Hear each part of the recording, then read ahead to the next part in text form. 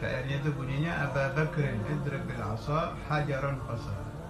Wahai Habib Abu Bakar, pukullah dengan tongkat hatiku yang terlalu keras laksana batu.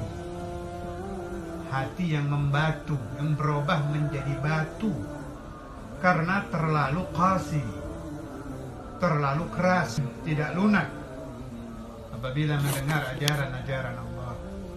Al-Walid Al-Habib Abdullah bin Saya mulai beliau memerintahkan kami putra-putranya itu.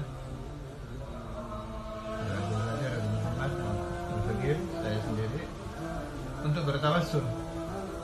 Ya Habib Abu Bakar idrib bil asa hajaran qasa min qalbi.